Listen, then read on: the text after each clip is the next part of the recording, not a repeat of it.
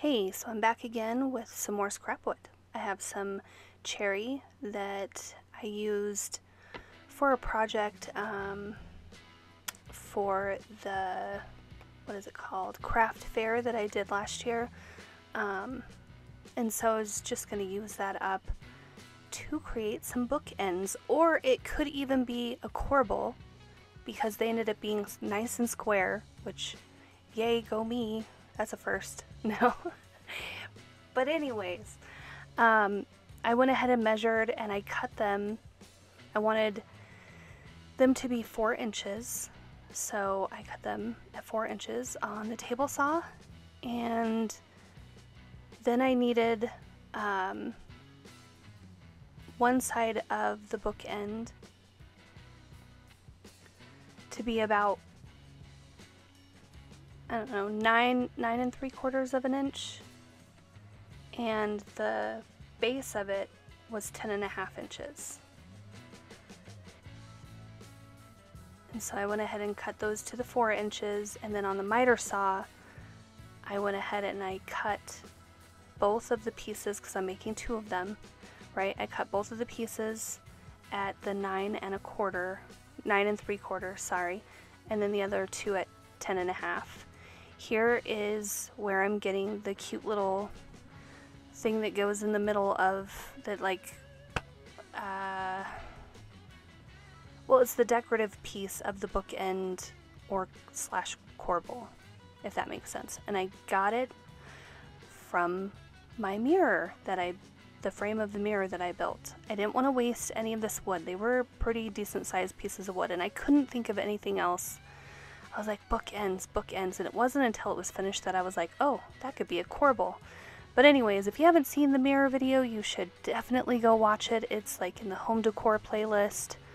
Um, yeah, it was pretty and hard and all the things. So, but here are those pieces. I went ahead and sanded them to where there was no corner.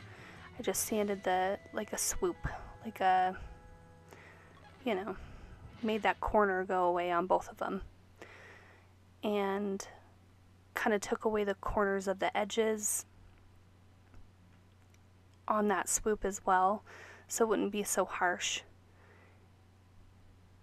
Now the this wood was pre-stained. I explained this in my mirror video. I actually was going to use this project panel, which is what I made the mirror out of. Well, the mirror frame, I should say, because the mirror is glass, but you know what I'm saying. Um, so I actually already had it stained and ended up changing my mind. I didn't like what I was making, and so I changed my mind. And I do that often. So I end up with a lot of scrap wood. I have a lot more in my garage, okay, because I changed my mind. Um, but anyway, so I go through and I sand and I smooth, get them all nice and pretty.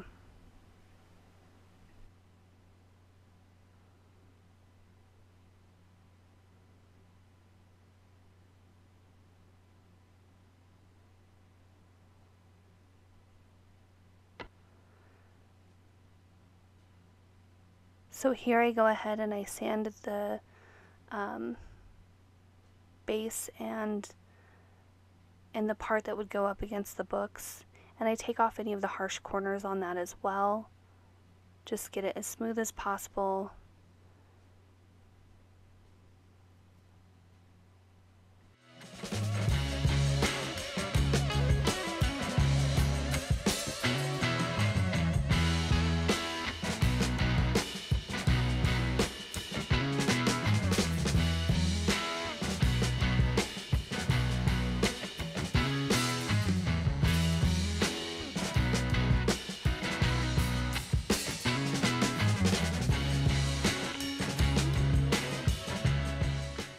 Now it's time to glue them up.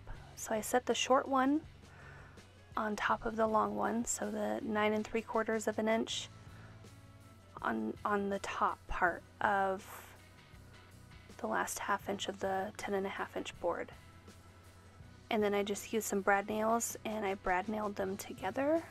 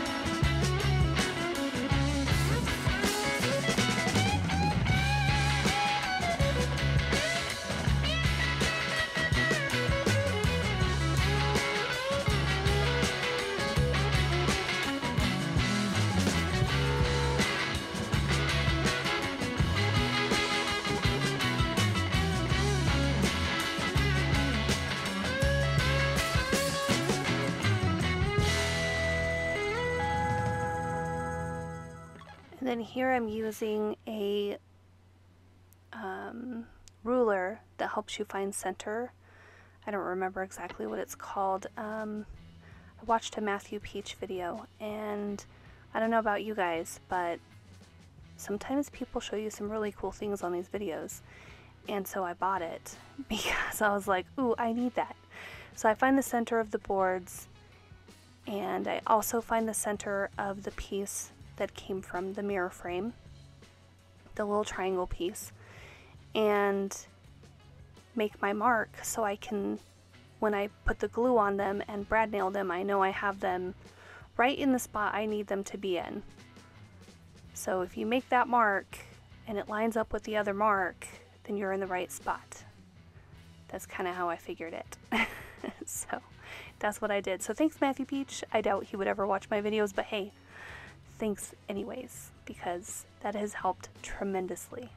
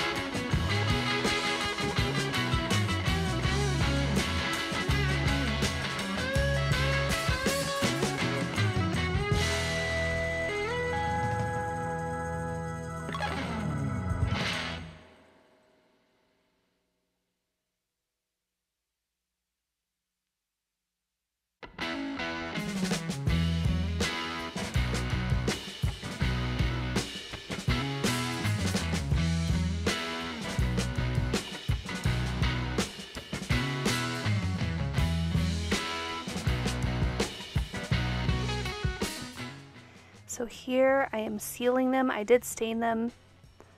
Um, I think it was like an espresso or something like that. And I'm sealing them with tried and true Danish oil. And I did that twice. So they're nice and protected.